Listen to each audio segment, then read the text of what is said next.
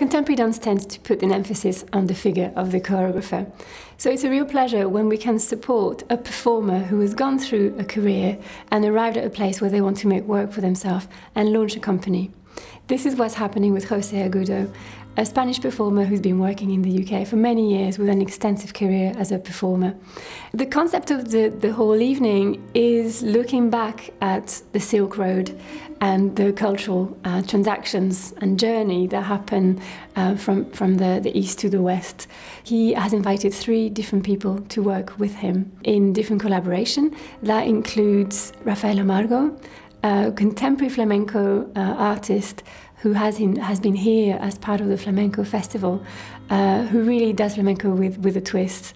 He'll also be delving into, um, into the Indian vocabulary in collaboration with Mavin Khoo. And the third part of the triple bill is a collaboration with choreographer Nahid Siddiqui, who hasn't been to our stage for a while and who brings a female perspective as well as her incredible knowledge of Kathak to uh, the collaboration with Jose.